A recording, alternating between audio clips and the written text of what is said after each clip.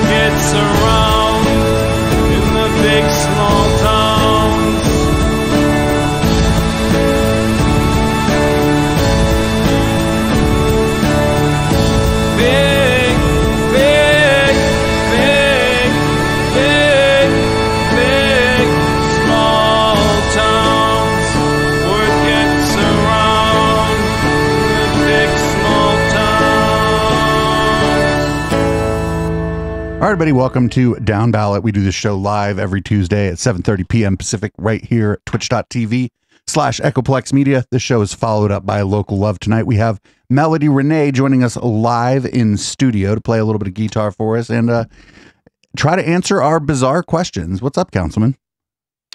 Not much. How am I coming through over there? Yeah, you sound good.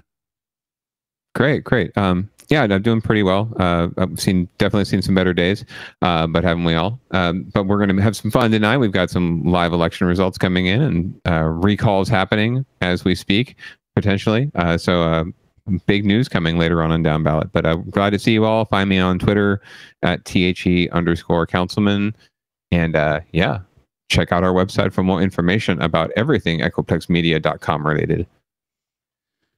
Great. So leading off, it looks like we have a story about today's uh, San Francisco recall election.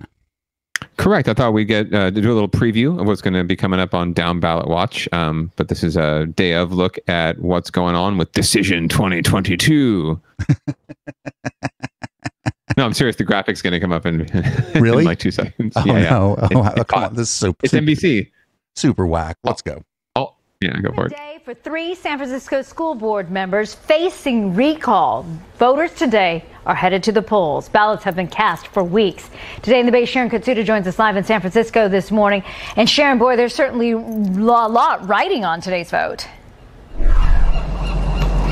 That's right, Laura. Good morning. Yes, this issue really started boiling over when the parents wanted the board to reopen the schools during the pandemic, but it, they say that it seemed like the board seemed to have different priorities. Now, these are the three school board members at the focus of the recall effort Gabriela Lopez, Fauga Moliga, and Allison Collins. Recall organizers say they would have liked to recall all board members, but only these three had served enough time to face the challenge. Both sides were out this weekend to get out the vote. Recall supporters are critical of the district's efforts to rename schools in the name of social justice, all while the board kept city schools closed for in-person learning longer than other big cities. Okay, this part drives me crazy because how long does it take to rename a school? I, depending, I mean, if, if you get community input and do all the stuff you should be doing, it can take, you know, months once you start the process. Um, but as far as like board time goes, like the Board of Education talking and doing maybe one meeting, maybe an hour of their time, right? They're not going to, they're not the ones spending all the time working on the actual, you know, chain name change and doing the, the legwork. They're just there to vote on it. Yeah, that's what. of course, there's like all kinds of administrative shit that needs to happen, but that's like not affecting the board's ability to make decisions about things like whether or not to open the schools. Truth. Um, and it would just be another thing on the agenda. Like, you know, the, amazingly enough, elected officials and elected bodies can juggle more than one thing at, at the same time. cities. This even led to the city suing the board and district over how long it was taking to reopen schools. Our kids suffered through Zoom school and mental health anguish uh, because the school board didn't do its job. It failed at its job in safely reopening schools. Another issue, the way the board handled the ending of merit-based admissions at Lowell High School. Opponents of the recall say it's a waste of taxpayer resources since the regular school board election will take place in November. Now, here's where you can find out where to cast your ballots if you plan to do it in person today. Polls open at 7 a.m. and close at 8 p.m. Now, if the voters, majority of them, support this recall, then of any of the school board members, then Mayor London Breed would find the replacements and they would serve through November. Reporting live in San Francisco, I'm Sharon Katsuda, Today in the Bay. So there's no line two on this, right? There's no, there's no. If I'd like to recall this person, but Not on this recall. Correct. so yeah, there's no there's no uh option. so the mayor just gets to do it kind of by fiat. Yes, at least until their next, you know, the next election for those seats. which is just in like fucking eight months or seven months or some shit. Ish, I think. I don't know. I forget um for all Said of November. not, but yeah, That's what nine minus two is seven. So yeah, there you go. So thank we're you. we're the ultimate math nerds.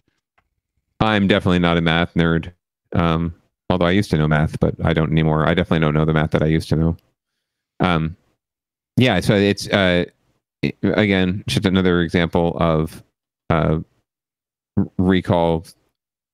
I think I think the abuse, frankly, of recall, because this isn't again like you said before, producer Dave. This isn't a situation where laws have been broken. Um, you know, money has been stolen, or you know, kids have been mistreated none of that. This is just policy difference, and it's people who are upset and they were having a sad because their kid has to wear a mask at school or something. I don't know, or they could they couldn't send their kid to school so they could go to work or do whatever they wanted. I don't know. Um, but yeah, it's it's a lot of pissed off parents um, who couldn't gather signatures. So that that and uh, apple pie will get you a bake sale. So this reeks to me of another issue, like a national issue. I think the reason that they're going and talking about the renaming of schools is this sort of anti woke shit.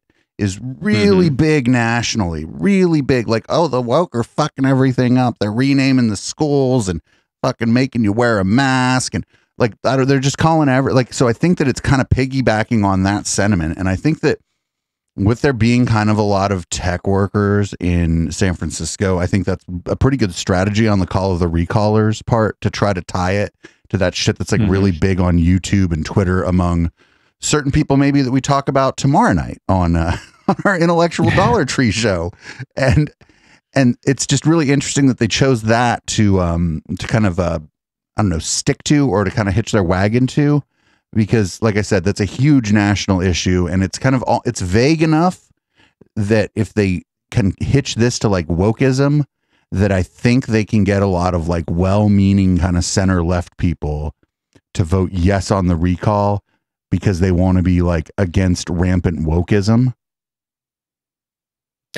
Yeah, there's. A, I think there is a bit of it, bit of that to it. Absolutely. Um, I think the uh, underlying all of this, and I think there's it's tied to Shasta County. It's tied to everywhere you're seeing these these recall efforts. Frankly, there's a there is a mentality out there. There is a through line. There is a, a narrative. There is a whatever you know astroturf um, of people. There's a there's a, a strata of people out there uh, across all uh, all regions right now, and it's infecting all areas of government. And it's, it's sort of like the pitchforks and you know ride people out of town in a rail kind of mentality, right? Um, and it's given you know normally these are the folks that are outside the city hall or the county building, right? They're picketing, they're yelling, "Hey, hey, we won't go!" You know, um, cult, yeah, culture of any kind has got to go. Um, instead, now they've got a vehicle because we're in California. They have a vehicle known as the recall, right? So they can use they can take all that energy they would be using to wave the signs and they can plug it into efforts like this that actually have some tangible impact and actually do uh, you know create change whether it's good or bad um, so i think and affect change so that I, I think that uh, the more these are successful unfortunately i think you're going to see more of them because i think that this strata of people exists and it's it's being fomented by the um, the pandemic and by uh, you know um, the mandates and the masks and the the boosters and everything else. Uh, and we're just going to see more and more of it. Unfortunately, it's it's it sucks. It's it's going to be a lag on getting anything done in government, and it's certainly going to, I think, preclude and um, shy away a lot of folks, a lot of really good, well-meaning folks who could be really good public servants, but don't want to put up with this bullshit. Yeah, that and it's just um you know I think that maybe some of the people who are uh, spearheading these recall efforts may have uh, other ambitions, be it a podcast or to just get on Dave Rubin's podcast, or they may want to run for office themselves and they can be you know they can come in and be like, hey, you know I have experience spearheading a recall when we had bad we had bad public officials and now I'm running for office because there was no line two and I'm just curious to see what's going to happen in the next school board meeting uh, in San Francisco to see if like the issues from the recall like just completely spill over into it, even if the situation is completely different by November. Right. And I'll, be interested to see if it is successful, you know, who the mayor appoints. I know the mayor was in favor of this recall, so she's certainly not a big fan, apparently, of the, the folks who were, you know, of the school board itself. Um, so it'll be interesting to see who she appoints and uh, how they do and how they perform against the standard that has been set by the recall proponents. Um, what standard that is, I don't necessarily know. Um, but I'm assuming they have some sort of standard. So we'll see if the new board members that are elected. This is kind of like a devil you know, devil you don't, right? Like these folks, great. You you circulated a petition, great. You won your low turnout, you know, odd time election, great. You know, um, what now? now you actually have to govern, or you have to figure, or maybe the next people are just as bad as the first, right? Or they're just as politically connected as the first group. Are you going to run? Are you going to put yourself out there? Probably not. Um, and then know, what comes next? They don't really think. I don't think they really think these things out in that depth, from what I can tell. Yeah, and before we move on to the next thing, if like the political left was any kind of organized movement, there'd be fucking they'd be trying to or, they'd be trying to recall fucking Mayor London Breed right now just for fucking recall just for being in favor of all these other recalls. You'd be like, oh, you like recalls, huh? Right. hey, you seem to be a fan of recalls, Mayor Breed. Here, here's Right. one for you. We don't like that you wore your ma- you didn't wear your mask at the club, right? So recall. um, yeah. So uh, watch watch where you wait. That's all I'll say. Like right, um, it, it swings both. The door swings both ways, just like with the uh, the filibuster, or any other legal political maneuver that benefits a minority over a majority. Right. It um, it always swings both ways. So when you're in the minority, you will just you know love just as usually will love just as much all these tools that the these a-holes are using now to fuck shit up for us we would be more than happy to use the same tools to fuck their shit up. So, on a completely like unrelated note, the chat is proud of themselves for having canceled your Kamala Harris um, uh, calendar. oh no that no no okay uh, chat. Much love to the chat. Much love. I will say that the the calendar was canceled by the fact that it's no longer 2021 so i just don't have a new calendar yet. I've got this nice one over here this like a animals of the world one but it's got this realtor's picture in the middle of it so i'm going to try and like you know just use some privacy screens or something and block the realtor's picture because it's so cheesy but the pictures are really sweet. It's like a panda and a seal and a giraffe so i'll get that up there for for next week. Great eyes um chat by the way well, I yeah, mean, no, I'm, I'm not going to. I'm not canceling Kamala yet. She may be a cop, but um, she might just well, well be the next president of the United States. just goes to show your connections a little better this week than last week too, because they can they can fucking see your wall a little bit better. That's the that's the the webcam on this lovely Lenovo um, ThinkPad. oh, it's the built-in camera. so- yeah, it's the built-in. I I didn't have time. I was troubleshooting so much to get some get a system that worked, so we didn't have any lag tonight. Um, that I didn't have time to plug my my uh, webcam in. So I will I will get that upgraded for the next round. So you're running Linux this evening. I, I am running Linux. I thought you'd be proud. That's probably why everything works better. So let's move on to Yeah. winners and losers. Um, where there are no winners, or if, if people are winning, that's just not who you're fucking rooting for. uh, If you're a viewer of this show or a, a member of our community here, uh, what's the Correct. first And- one? What's the first one? Well, it's nothing about Ukrainian people, so it, uh, this is just a, a lagging portion of the YouTube clip. Once it starts, we'll we'll know what it's about. Um, so, uh, as you may have heard um, on the news uh, or somewhere, uh, the California has lifted their well, at least lifted their mask mandate partially. Right, like you, you can now, if you're vaccinated, in some counties in California, most counties, um, not wear a mask indoors, et cetera, et cetera. Um, there are some exceptions, but there's a couple of counties in in Santa, uh, the Bay Area, including our very own producer Dave, Santa Clara County, um, that are kind of on an island um, and going to hold that mandate in place for a little while longer. Moving you forward on Bay Area COVID hospitalizations with encouraging new signs. The most serious cases are declining. Now, as you can see right here, by this time next month, that total is expected to fall 62%. So we could see those hospitalizations sitting around 3,000, just a little bit above there. Now, right now, statewide, they're close to 8,200. This comes as the state mask mandate set to expire. Today at the base, Bob Redell. He's live for us in Pleasanton this morning. And Bob, some of those places, they say, yeah, you're going to still have to wear those masks inside.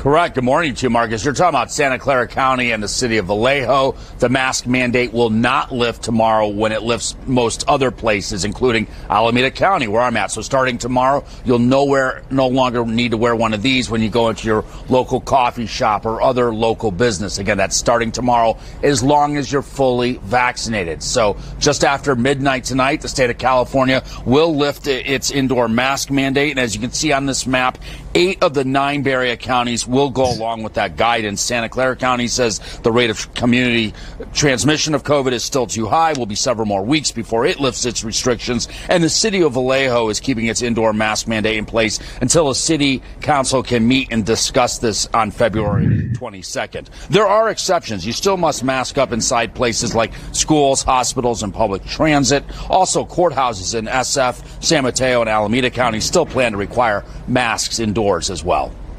I think one big difference between the last time we took masks off in June of 2021 and now is that we have more options to keep people away from the hospital, even if they get infected and they are at risk for getting serious disease. So it's really important when somebody uh, is older or if they're immune compromised, uh, or if they have multiple medical comorbidities, particularly if you're not boosted, uh, to call your healthcare providers, see if you're eligible for Paxlovid, the oral agent for COVID, or monoclonal antibodies. Uh, we have more and more of those uh, increasingly, and they do work uh, exceptionally well at keeping at risk people away from the hospital. By Thursday, Governor Newsom is expected to announce plans for how California moves to the endemic phase of COVID when it comes to issues like community surveillance and testing protocols. Reporting live here in Pleasanton, Bob Redell, today in the Bay. Community surveillance sounds very interesting. I mean, I know what it is. It's not what you think it might be, but it does sound very interesting.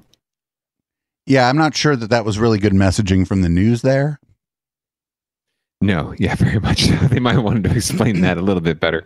Community Um, surveillance yeah, makes me think of like Peter Thiel's Palantir, just like sending little robots around to watch what you're doing. right in the in the street lights and the potholes popping out of the the sewer lines. Um, local news producer. They're gonna, we we need a bot that can like track down local stories like that. That would be great.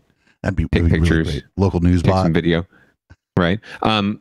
But yeah. So I, I love the you know Santa Clara County and Vallejo. Um, there's very few things that Vallejo and Santa Clara County have in common other than being in the Bay Area. Um. And this is one of them. Uh. So do you feel safer living in Santa Clara County, producer Dave? For like a variety of reasons, not just the like as far as COVID goes, not just the the fact that the city, the county's a little more aggressive with uh, mitigation measures, but also we got a hell of a public hospital here.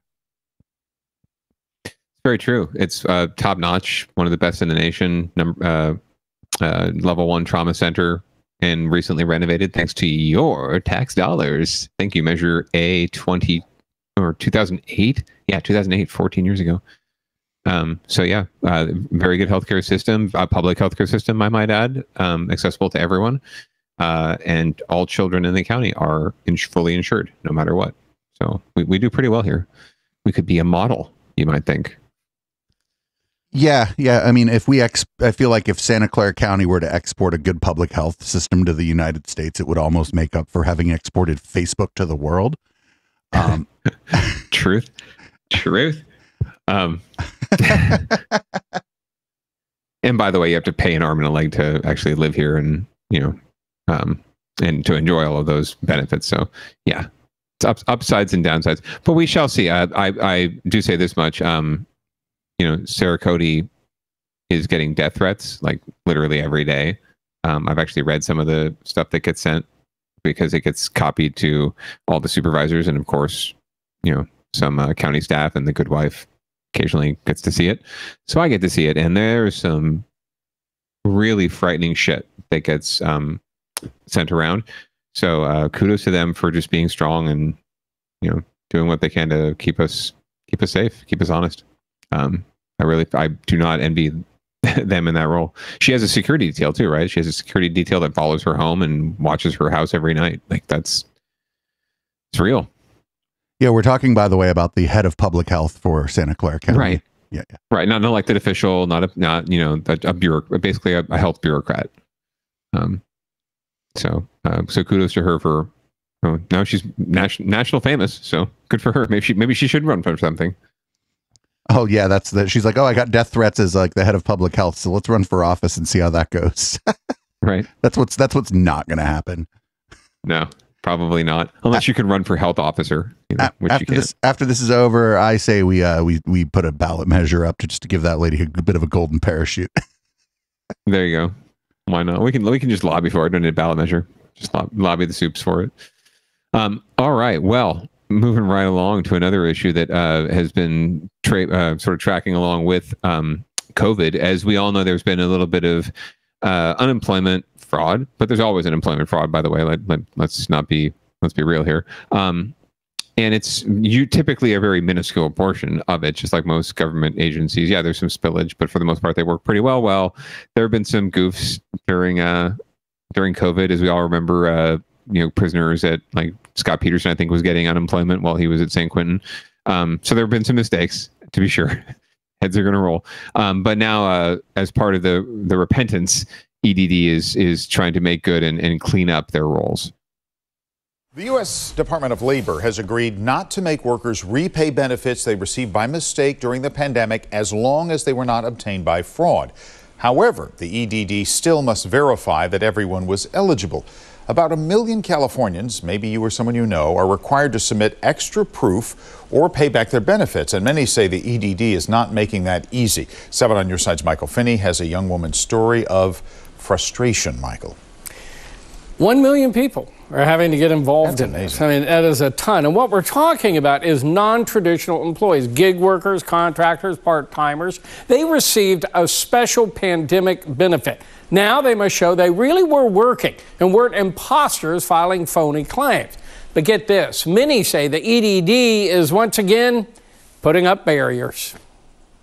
So I do have evidence. I just cannot get it to them. Colette Bowen of Morgan Hill has been trying for weeks to show the EDD this proof. She really was working at a Kendra Scott jewelry store when the pandemic hit. And then everything shut down, and then they let us all go. Colette was a college student working part time at the mall when stores shut and she got laid off. The EDD granted her pandemic unemployment benefits, but now, nearly two years later, she must prove she deserved them. I don't know why I need to prove anything. When I applied, I got accepted for a reason. They have to read through your case. She's among the nearly 1 million workers who received this alarming email from the EDD before the holidays. All must show they were really working before the pandemic hit or return the money. Colette found the email just recently in her junk folder. It coming to my junk folder, I thought it was just kind of a scammer. It said she must upload proof to her EDD account or pay back her benefits.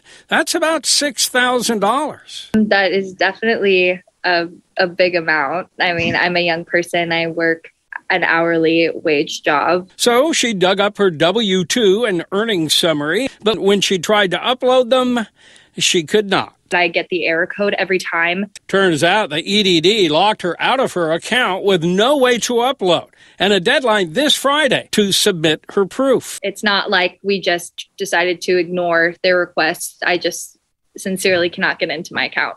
Thank you for calling the Employment Development Department. She's tried calling the EDD many times. We're currently receiving more calls than we can answer and are unable to assist you at this time. So, yeah. No one picks up. So she mailed paper copies to the EDD. No response. She contacted Seven on Your Side, and we asked the EDD how she's supposed to comply if they locked her out of her account. The EDD said it will be offering a way to mail in documents for those with technical problems, but would not say why she was locked out. I'm not in a position where I could pay back that sort of money. And I know that I'm not at fault and I shouldn't have to. So, yes, it is very frustrating. The EDD says many folks may have been overpaid by mistake as rules kept changing throughout the pandemic. I've reported a great deal on that. The Labor Department said today it will forgive many of those payments. Good news. However, folks like Colette must still show they were really eligible all of the time. Now, they knew that at the beginning. Most of these people are Sure. because we're not ripoffs. You're going by the rules. Right, right. Still, that you know, we've got to fix the problem. Yeah. I mean, it, you've done so many stories. Thank you, Michael. Sure. So you're telling me you didn't, you young person with tons of bills and rent to pay, you didn't just put the six thousand dollars into a interest earning checking account or a savings account or a CD or invested in the stock market? You actually, what what'd you do with it? Where's the six thousand dollars that we gave you that you shouldn't have? She bought those ugly ape NFTs actually. She bought some Dogecoin, boy. to the Uh, moon, to the moon, I tell you. Right. No, I'm guessing it's in her rent, right? Or, or other bills. Yeah, like her shit, landlord $6,000. fucking has it Like, now. It's like you gave me six thousand dollars, government. I'm sorry. Like I'm, it's I spent it all, yo. I I bought a I bought a sixer and paid my rent. Um, yeah, that's that's pretty fucked, honestly. Uh, they're it's like they're making a mistake, you know, big a mistake and a misunderstanding worse. Um, and causing a lot of pain. But then again, this could be one of those situ- isolated situations where it's just this one person who reported it, right? And the 999,000 other people are having no trouble, but who knows? Um, because I didn't see them come with like the, you know, oh, we we contacted, you know, just randomly 15 other people on this list, and you know they all reported problems. So it could just be this one one account. Right, but that, I think it's her. because of the kind of segment it is. Seven on your side generally focuses on one person who's having a problem with some kind of institution. Yeah, absolutely. Seven year side and the um I forget what it's called on NBC Bay Area, Chris Chmura's thing, but uh yeah. uh, NBC has your back or some shit. Um, absolutely, know, this is this is totally just consumer reports kind of news making. So it's not news so much as it's uh, it's reactionary uh, compl- complaint department, the Department of Complaints department. the compartment, the Department of Complaints compartment, sir. Compartment. There you go. The Department of Redundancies department. Um, well, uh, hopefully they'll sort that shit out, and you know, uh, not not that you know prisoners don't deserve a little love, but they shouldn't be getting unemployment benefits necessarily. Um, but uh, hopefully they'll sort that shit out and get the money in the right people's hands, or at least if they gave it out already, recognize that they're they got their heads up their ass if they think they're going to try and get it back. Um, What do you what do you think about the idea of prisoners getting unemployment benefits for six months prior to release, so they have a little bit of money when they get out? Oh, I'm I'm actually all in favor of uh, prisoners, especially state prisoners. Well, I mean that's prisoners are right, state, sorry, uh, or federal. Um, I'm all in favor of doing everything we can to make sure that uh, prisoners who have um, who are uh, allegedly, you know, ostensibly being rehabilitated, right? I want first, I want to make sure that they are rehabilitated, right? I want to make sure that the system where we have is adequately serving them, right, and, and allowing them an opportunity to rehabilitate and to advance themselves. Um, I have a family member who's prisoner in the state system, got his AA, and is now working on a BA, right? So he's going to come out of prison. It's going to be a while, but he's going to come out, of prison much better off educationally than he. Uh oh. Um, I've lost your audio. Allow. There we go. Can you hear me now? Yes, I certainly can. Weird. I touched the wrong part of the of the laptop. Um, yeah. So uh, it, uh, getting benefits and actually knocking time off of their their uh, service time by taking classes, right, and, and bettering themselves. But yeah, at the end of the day, and they're making a little bit of money to do the jobs that they have them do all around the yard, right? But nowhere near you know any kind of serious change, right, or, or money that's going to be helpful at all. It's like pocket change, right, to get you, you know, it'll get you some, get you where you need to go, but it's not going to help you live. We need to do a whole lot better by these folks. Um, and if it takes, you know, erroneously giving them unemployment benefits, then fine. Um, but yeah, in general, we need to do a whole lot better. Um, figure out a much better system for um, how we can reintegrate folks into society because people shouldn't have to be serving you know these life sentences without parole or just getting back and just pushed back in the system because when they get released they don't get enough services to keep them out right um, people go to prison a lot of the times in jail because they're they've run out of options and they do something stupid So real Because- quick before we real quick before we move on here, we got Montreal player who I'm not even familiar with just rated us. Also Justin freaking rated us. That was the double raid. Fucking twice as many goats. Fuck yeah, thank you Hey. everybody. And if you're listening on the podcast, a raid on Twitch is if somebody ends their stream and they want to send their viewers somewhere, they can send them somewhere good or they can send them to down ballot. Well, speaking of down ballot, we're going to have our results here in just a little bit from the SF Elections Board. Um, by the way, they also have a state assembly race that's happening right now to replace uh, David Chiu, who was um, uh, appointed San Francisco's city attorney. Uh, so he, uh, they're going to have a, they're having the uh, vote to replace him tonight as well. Well, our next story is somehow South American gangs are tied to a string of pen- peninsula home burglaries. This sounds like some fucking stranger danger crime fucking this sounds like some shit from the 80s that would be on the news all about the fuck South American gangs. Is it MS-13? For fuck's sake. All all right. I, I'm already mad at this thing before we even started playing it. Let's go. Let's run it.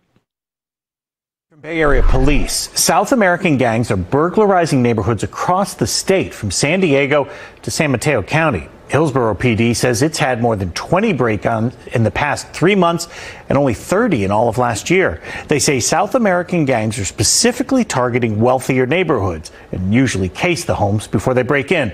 They say the thieves are mostly after firearms, jewelry, or anything else they can sell on the black market.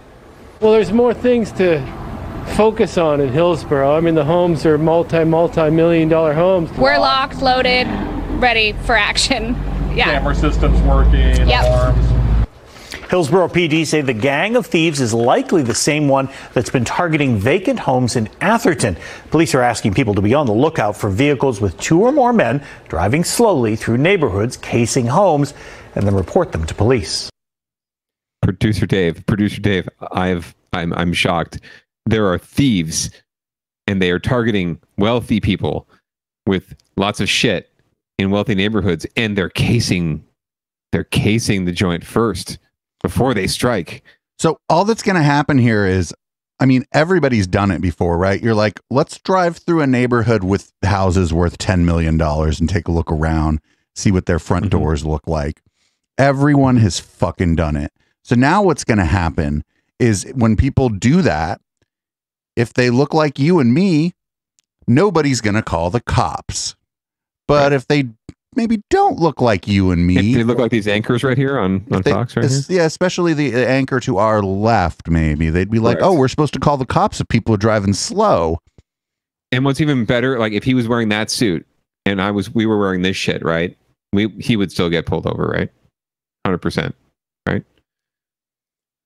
Probably, maybe, maybe. Um, but yeah, no, I, I, I, again, this is one of my favorite and our, I think our favorite angles of local news is that they don't actually like. There's this catch to get you to watch the video and get you to pay attention to the story, and it's in the first line. They never bring it back around. They never actually explain who are these South American gangs? Where are they coming from? Where did they originate? Why are they suddenly targeting California? Is there some is there some lack of you know uh, rich people in South America uh, that they cannot rob and they have to come here Or just easier targets? Did, did they get a, a, a you know a, a group rate on you know uh, South American Airlines? I don't know. Um, Or but or is it that These are the there was one that somebody that the cops busted who had some kind of tenuous connection to what the police believe is some South American gang? Right. But even if it was that, I don't even think they explained that at all. They just sort of said South American gangs, and then they pivot to these two Tony white people. Um, one of One of them them was apparently has a locked and loaded. Locked and loaded. She's ready to fucking rock, Karen. Um, so they pivot to Karen and Bob talking about how yeah, Hillsborough's got a lot of rich people. Um, and they never get back to the actual like the the draw of the story, which is the South American gangs, um, which makes it a perfect down ballot story at the end of the day, because we'll never get it. We'll never get a resolution. All right, so we got one more here. We got a man funeral expense donation jar was stolen for a but oh, everyone no. loses, and it was in Benicia too, so everyone loses. No, just across the board. Officers want help catching a thief who was caught on camera stealing from a donation box. Yeah, KTVU's Greg Liggins explains the money was meant for a very important purpose. Mike Haro seems to be a man everyone likes. For the past five years, he's been a beloved employee at Bob's Liquor and Food on West J Street in Benicia. That changed Tuesday when 26 year old Haro suddenly died from what may have been a heart attack. He was such a wonderful kid, you know. He was for us like our son, you know.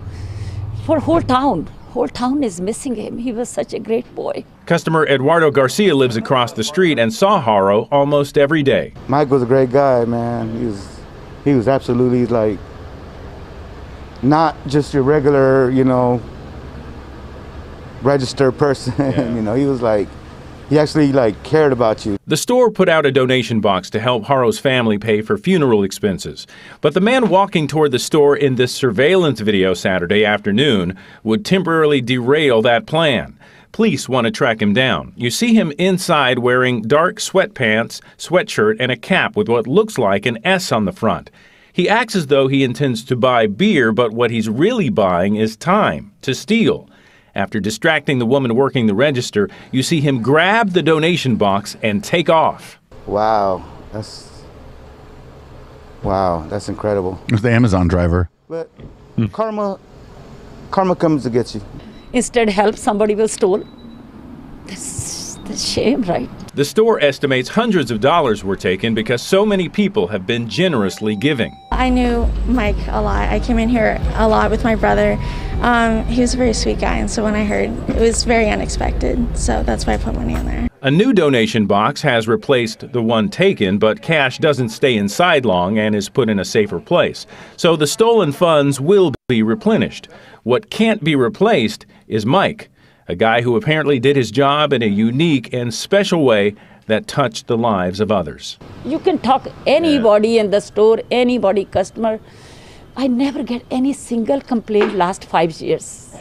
He, they, people were always, oh, you are so lucky you have Mike. You are so lucky. He wasn't a regular dude. He was a really special guy. Authorities are urging anyone who recognizes the suspect in this photo to call Benicia Police. The Police Officers Association there has made a donation to help with some of the stolen cash. Also, friends have set up a GoFundMe page to help the family with funeral expenses. Greg Liggins, KTVU, Fox 2 News. And it looks like they hit their goal, so I guess that that's a winner at very least. But uh, yeah, God, how awful do you have to fucking be, man, or hard up, like you know, or both at the same time. That's just, whew. Yeah, I just feel like I just feel like the person who works at the liquor store is like really a pillar of the community. Like they're they like they they deal with a bunch of bullshit probably, but like the people that work at my liquor store are great. I fucking love them. I like know Yeah, their I- I- names because I, asked. They remember my name. Like I walk in and the guy's like, I have a new stout. Like right as I walk in and I'm like, I'm just here for an energy drink. And he's like, but I have a new stout. it's like, yeah, I, I, very, I very much like your your liquor store folks. They're they're very good people. it's unfortunate that we are in the situation that we're in and you're not stopping by there more often on your way here, you know? I know. I don't know them by name, but they they seem like very very genuine and very nice people. They have a They call me boss. They have a great they have a great selection there. But I'm just telling you, like i- if you like live within walking distance of the liquor store, you know the liquor store person because you you don't even have to drink to be pals with the liquor store person. You need a pack of smokes. You need a Yeah. snack late at night. You want you want a coke. Right. Maybe or some coke. Maybe you're playing the lottery, and if you're playing the lottery, by the way, don't stand there and act like you're at the casino and fucking do the thing like right. I fucking hate that shit when I'm in a hurry and somebody in front of me is treating the lottery like they're like uh, some kind of high roller at the fucking at the Bellagio or some shit. It's like shut the fuck up, take your tickets and get out of here. But the liquor store person never is rude even to that person. Right. No, and, and you're right. Pillar of the community for sure, and they have to with good reason. Um, uh, they deal with everyone, right? From the banker to the butcher to the whatever Bartleby maker or whatever the, the line, however the line goes, the teacher, the post office clerk, right? Like everyone comes to the convenience store, or the liquor store sooner or later um, to get something. And uh, yeah, you're, they're either down or they're not. So good on them for looking out for their boy. Um, I'm glad that they they got the money uh, coming through the GoFundMe. Um, but yeah, whoever this person is, like I feel bad taking a penny from the take a penny jar, Bruce Dave. Oh, I don't. little- the little take a penny t- thing. Um, because I want to leave it for the next person. I feel like I should have a penny for some reason, but uh, when I don't, I do take the penny. But taking the funeral fundraising jar, yeah, that's bad. Losers. But anyway, that's what the, I call it: winners and losers. Mostly losers. All right, San Francisco, get your shit together. Here's a trailer for I guess a movie that's coming out. It's going to be a series um, uh, from our good friend Bigad Shaban at uh, NBC Bay Area. He's doing a, a whole series on saving San Francisco. From what I guess we're going to have to see from But itself. this is the trip. This is the trailer for his investigative series. Award-winning journalist. They're monstrous. Big, angry monsters. Big, crazy, just gonna get you monsters. Even if I scream, no one's going to hear me. I just know he's going to come back here. He's hearing these voices telling him to do these things.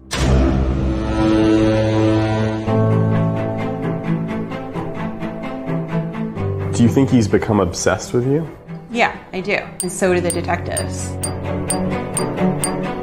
I just keep expecting him to be dead. And then I, every day I wonder if he does die, would I even know? It's frightening. It's creepy. There's this guy who just watches me.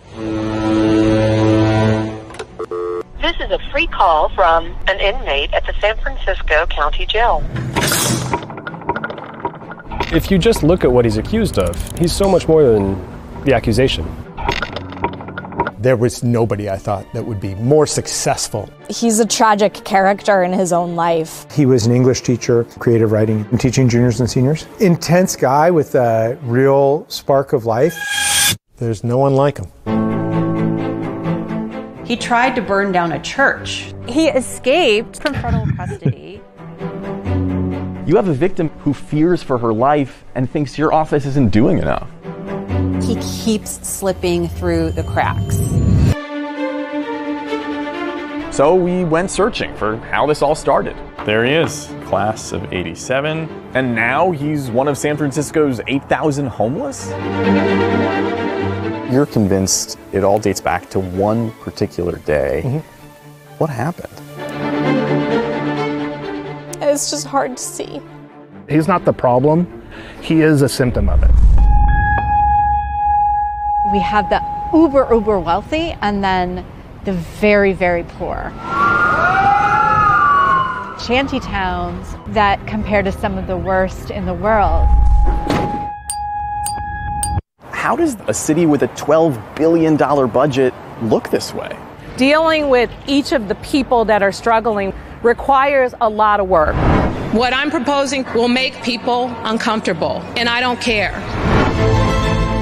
It's such an incredibly wealthy and resourceful, beautiful city. That's the sad irony. It's not so pretty anymore. You step over piss, you step over garbage, you, and the main thing, you step over our people. And it's beautiful people that are being wasted, lost, left behind. It should be better than this. And it can be, and it will be. It's a pretty difficult uh, situation to be so misunderstood.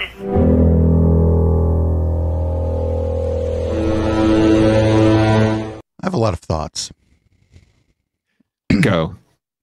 Um, fuck this documentary. First of all, agree. Um, I don't. It seems to be tying together a bunch of things that are just problems that big cities face. Sometimes times are better, and they face these problems less. Uh, like if you think of San Francisco in the late '90s, there was like money falling from the sky, and uh, working class people could find good jobs in the city because sort of the the cup over did overflow with during the tech boom in a lot of ways. Now that we're in like a prolonged, different sort of tech boom, they figured out how to put like a um like a bathtub under them so that the cup when it overflows, it just goes into their bathtub. so a lovely analogy. I don't know who the person they're talking about is, but I'm also kind of glad they didn't just like dox the person on on uh, this. I'm real I'm real curious to see what this documentary turns out to be, but I don't think it's the local news's job to put out a documentary that to me it looks like is demonizing the poor in their community. I don't think that's the local news's job. Uh, I would agree with you there, and it seems it almost seems like a uh, some sort of dichotomy here, where there are two different things, where they're you know, it starts out with this very you know fear, well, I, I, intentionally fear-inducing, right? If you were a fearful type, um, ominous music and the sound effects. They hadn't posted results yet. I was kind of surprised, but uh, I'm sorry, getting a little distracted here. Um, uh, and it's all like you said. It's exactly what that what that appears to be, demonizing folks who are just homeless or going through some shit, right? Um, more than likely mentally ill. Uh, and yet, towards the end of it, we're talking about, oh, but this is they're a symptom of a bigger systemic problem, and we've got this, you know, these shanty towns and these people we need to help. Um, and then it comes back to London breed, and we're gonna fucking just send more cops in, and that's how we're gonna solve it, and people are gonna be uncomfortable. So I'm trying, I'm struggling to grasp sort of what the angle is, or what the, you know, what the message is, or the news is here. Um, like you said, we all know big cities, cities in general, just have a lot of issues uh, you put a city in through a pandemic, bigger issues. You put a city through a pandemic after a recession, and we've really barely recovered from that. Right, the first bubble busting. This is what you get, um, and yeah, we have to deal with it. But shouldn't be a shock to anyone. It shouldn't require a five-part docu series. Which, by the way, just real quickly on on our friend the reporter here, there's really, in my perspective, I know I understand Walter Cronkite and all these great reporters, right? And they everyone knows who they are, and they always appeared in their pieces. I've never thought a reporter should have to appear in their piece, right? It should be good to know who the reporter was because it's their job, um, and they're doing their job.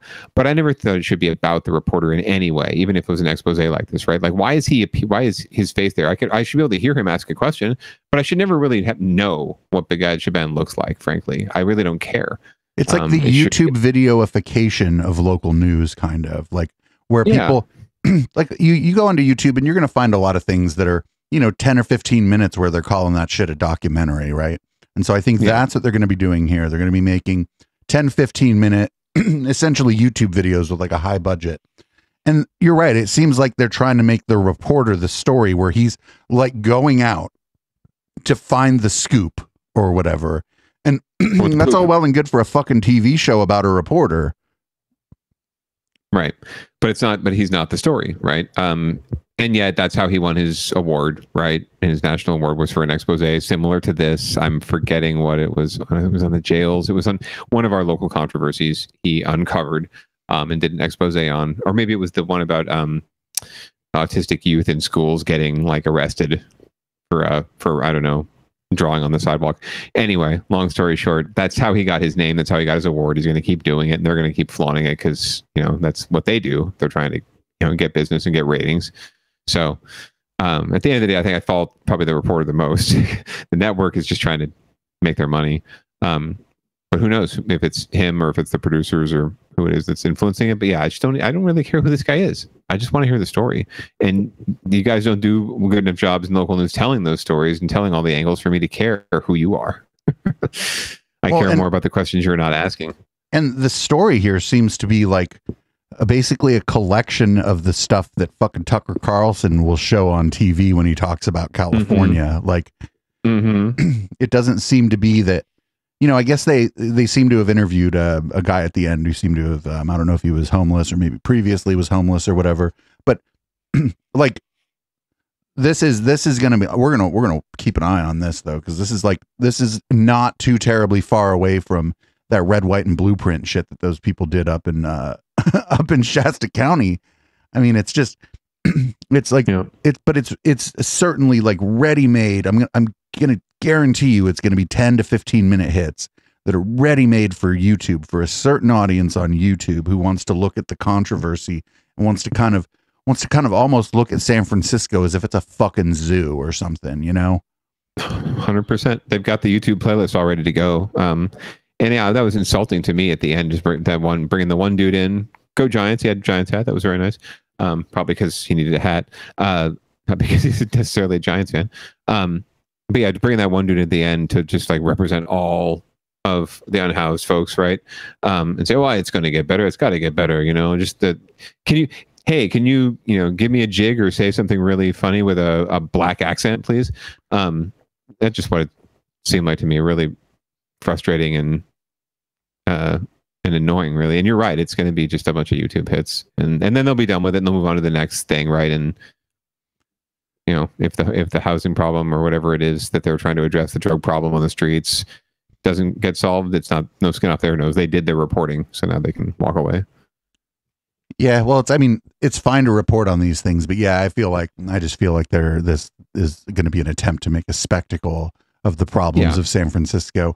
And I'm telling you this is going to be aimed at a YouTube audience outside of San Francisco. Yep. Oh, national though. This is national kind of stuff. This is the stuff they're kind of they're trying to hype. Um, it's very overly produced, and yeah, you're they're they're aiming for audiences that aren't the choir, for sure. Right, and they're supposed to be reporting on the city to inform the people of the city Correct. primarily.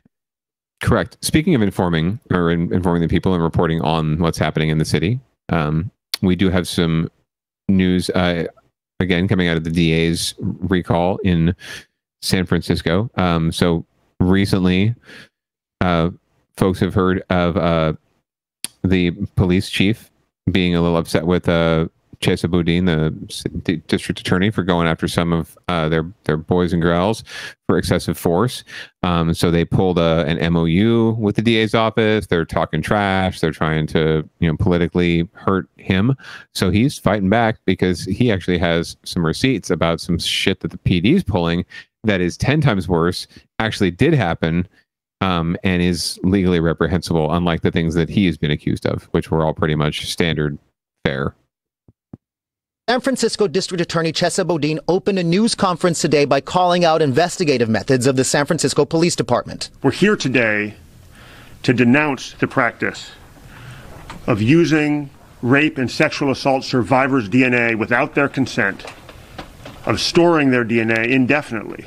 The district attorney was surrounded by victims advocates who joined him in voicing their concerns, saying this violates the already delicate trust victims have during a rape or sexual assault investigation. It is re victimizing the victim. It is unacceptable. We need to address this. If survivors knew that their own DNA evidence would potentially be stored and used against them at a future date, even less survivors would come forward. DA Boudin says he's raising concerns after he came across a sheet of paper late last week in a current case. He says the document shows San Francisco police detectives compared DNA from a rape kit collected in 2016 with DNA collected at a felony property crime scene recently and identified the former victim as a current suspect. What's more, he claims this could be a statewide issue. Our conversations with uh, leadership at the SFPD Crime Lab suggest that this is a routine practice not only in San Francisco but at other crime labs across the state. The San Francisco police chief says his department is looking into the details of how the crime lab handles rape kit DNA samples.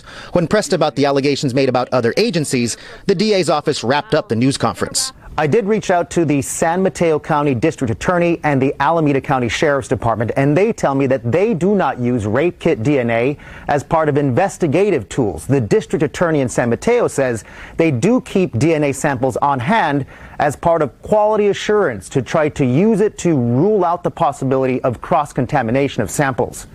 In San Francisco, I'm Sergio Quintana, NBC Bay Area News. Okay, thank you. But they reached out to the DAs. They didn't reach out to the fucking police departments, who are the ones who are apparently doing this. Hmm. No, absolutely. uh, jolly good show. Jolly good show. Uh, well, yeah. So, like we said before, if you're going to come after Chesa, you best expect him to fight back because he's not. He's not afraid. He is definitely not shy, and he's definitely not um, bowed by all of the pressure from uh, the establishment. So, good on him for pushing back. What do you think about the uh, the accusations, at the very least, or the the the uh, practice of using rape kit DNA, stored rape kit DNA, to solve, or to not solve, but to um, you know, in, in current investigations? Sounds shitty. Sounds like because I I, don't. so. You go in there right, and you you get your you get your rape kit done, and it doesn't probably doesn't occur to you that that's. I mean, sure they have they they're going to have your DNA right there. It's going to be part of the rape kit, but it, you maybe you don't even think about it in those terms, right?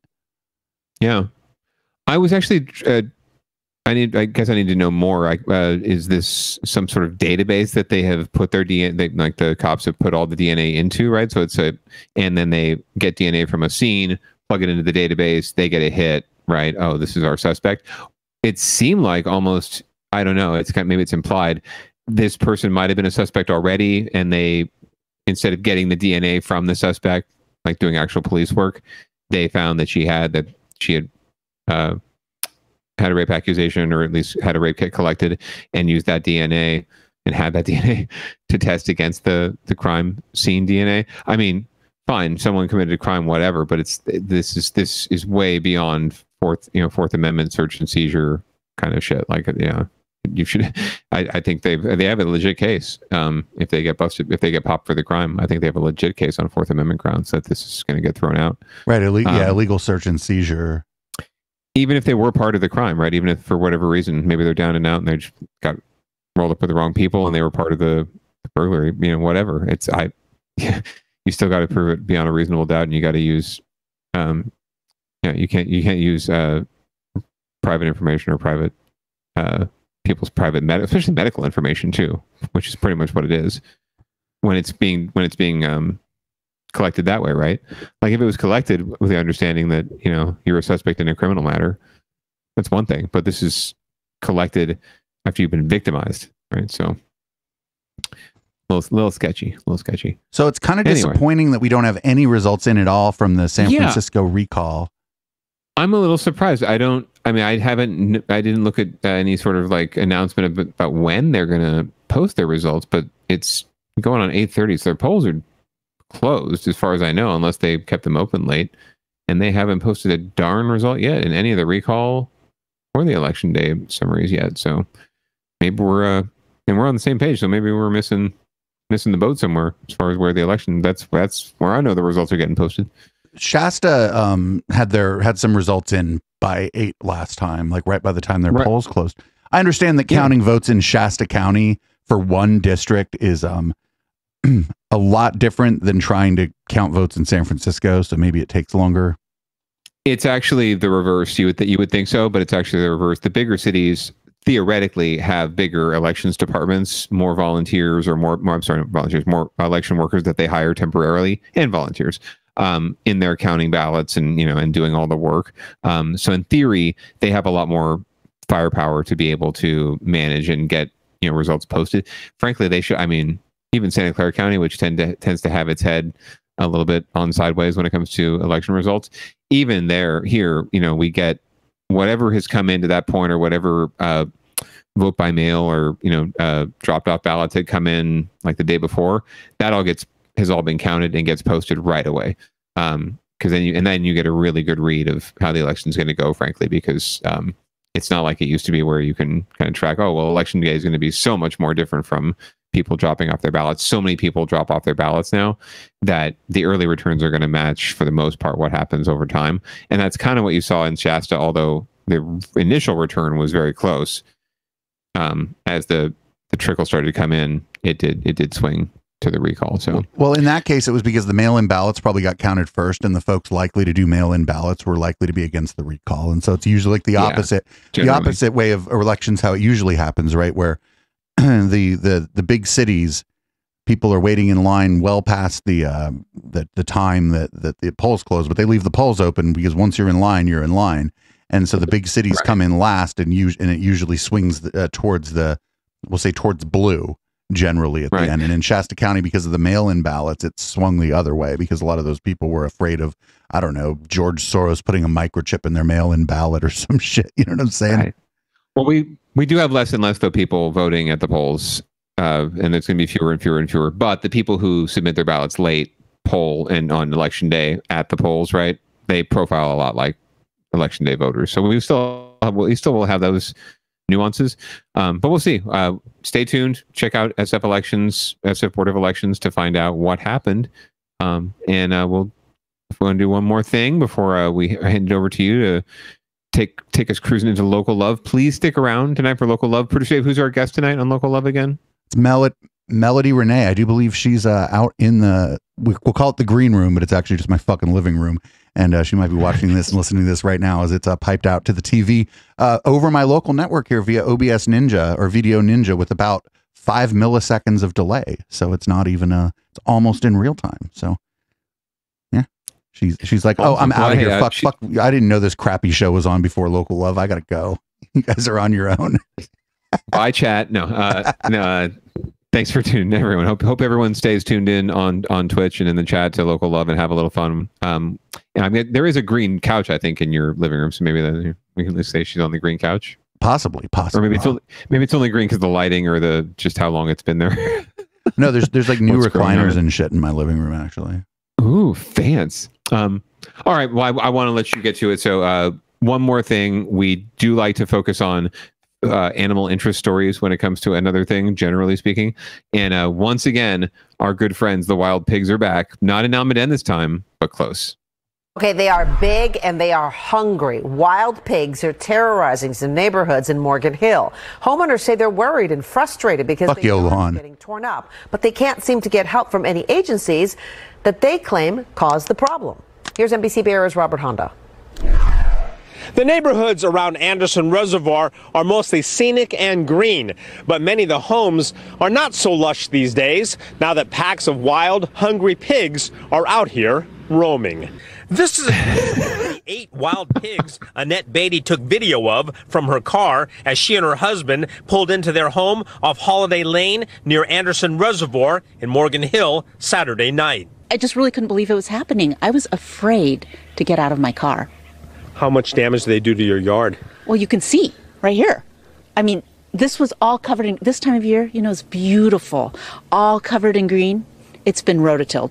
Annette and other members of the Holiday Lake Association filed damage claims with the Santa Clara Valley Water District, arguing the draining of Anderson Reservoir for seismic retrofitting forced the pigs to look for water and created a pathway to the neighborhoods. Valley Water needs to coordinate with SCC Parks and the City of Morgan Hill to put traps on public land to trap and eliminate, to trap and, and reduce the wild pig population. We can't just get a gun out and shoot them. So we really don't. Sounds like he wants to. Do it yourself method to mitigate the pigs. The Water District rejected the claims, but said it has its staff researching options. Our staff is looking at working with other agencies in the area who have more experience with. Oh, funny. He used to be a reporter with ABC7. Them rooting around at night, it's really scary. Association leaders say they want the Water District and other agencies to move quickly. They say they want to protect this lower meadow, the neighborhood's designated open space, and the evacuation site in case of a wildfire, an area the pigs have not discovered yet.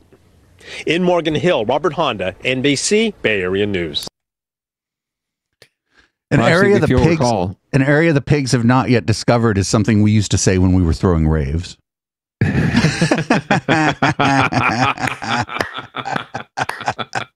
okay, forget what I was going to say. That that takes the cake right there. I'll be Um, here all night gonna- or all week, literally all week. rim shot. Um, no, it was good. Uh, I was going to remind folks that when this happened, you know, when this came up in Almaden, what two or three years ago, right? Um, Could have been three Campos weeks ago or two, three it. years ago. Yeah, it's, right. it's hard to tell. Ap- apocalypse now. It happens every year anyway. Um, but we had San Jose actually did institute an emergency ordinance uh, to allow folks to euthanize quote unquote pigs, and that included um, shooting them.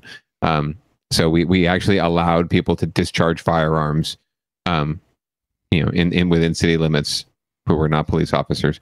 Um, shocking. So so yeah, they they will. It, if you push comes to shove, they will allow you to shoot them, sir. Um, but if you want to try some other DIY methods for for capturing wild boar, like, go for it. A Rube You're gonna- Goldberg, a Rube Goldberg device to kill the fucking wild boar. I'm I'm just thinking of the little like you know the little mouse traps, right? Little cheesy old school mouse traps, like snap and gets them on the like their whatever their hoof. I don't think that's that's stopping them from tearing your lawn up. But um, most people seem really happy to be on TV, so I don't know if they're really all that bummed about their their lawn getting torn up. Um, Yeah, mostly when the boars come, everybody's like, "Oh shit, do I get on the news?" yeah, right. Who's going to call the news first? Who gets to call them this year?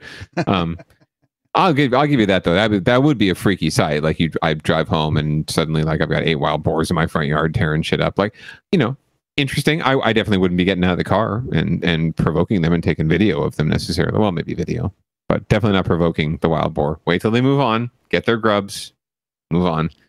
Um, make sure the dog's inside. Oh my goodness. All right. Well, my friend, it was another fantastic episode of of DB. Yeah, Councilman, why don't you read us out? All right. Well, uh, thank you all for joining us again. Uh, if you're in the Twitch chat, stay there for local love, fantastic local music, live local music coming up next. Um, please be sure to tune in every week, uh, every Tuesday night at 7:30 Pacific for our locals show, uh, Down Ballot with the best in local news. Next week we will have the results of the SF Board of Elections recall or a school board recall. So please stay tuned for that. And uh, yeah, stay cool. Get vaxxed, wear your mask, pants are optional. Peace.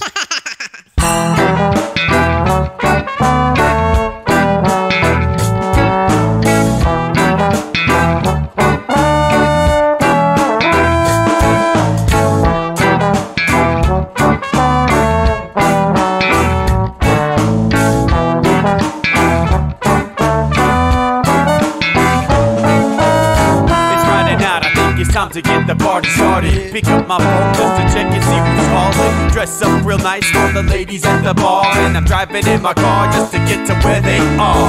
Here at the local scene is where I plant my feet. It's where I smoke my cigarette and I hold my drink. I look at all my friends, they're all blazing green. Here at the front of the stage, waiting for FTV. Where are those guys who's standing next to me with a pipe in his hand, ready to blaze for me? About five minutes later, we're all singing. Let's get the fuck up on stage, man, rock the scene, yeah. We do what we want, and we want is to jam. So sit back and enjoy the band. We do what we want, what we wanna do And what we want is to jam, so sit back and enjoy the band. Enjoy that band. I turn and head back the bar for a refill, man, because you know where we are. We're headed out to the car to smoke another one and another one. Now, just when the magic starts kicking in, I hear relapse playing, you know it's time to head in. All right, everybody, now it's time to grab a new drink, spark it if you got it, and then pass it to me. Yeah, we do what we want. And what we want is to jam, so sit back and enjoy the band. We do what we want, what we want to do, and what we want is to jam, so sit back and enjoy the band. Enjoy that band. Last up on the bill for the show tonight is down and dirty and five, so we're headed outside to spark up another joint. Now, who's got my lighter? Stoner E, of course. Shouldn't you be inside? I'm all up in this bitch being who I gotta be. I'm fucked up like the US economy. The truth is, is that I don't think logically. Stoner E take you on a psychedelic odyssey. Now inside motherfuckers is rocking me. And outside shit we smoke a lot of broccoli. Rocky the roller, yo, that sexy girl be jocking me. Ain't too drunk to fuck, but I'll probably do it sloppily. We do what we want, what we wanna do, and what we want is to jam. So sit back and enjoy the band, enjoy the band, enjoy the band. We do what we want, and what we want is to jam. So sit back and enjoy the band. Yeah, yeah, yeah. Molly say that he like jamming and he hope he like jamming too. Well, I gotta say, thank you, Bob, we do. Yes, I gotta say, thank you, Bob, we do. Well, Bob Marley said that he like jamming and he hope he like jamming too. Well, I gotta say, thank you, Bob,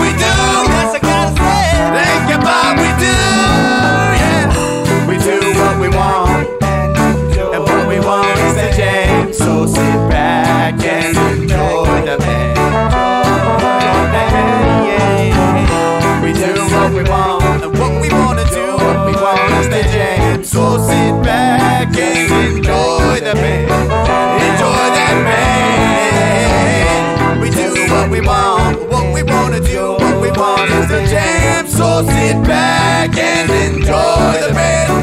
Enjoy the band. We do what we want, and what we want is the jam. So sit back.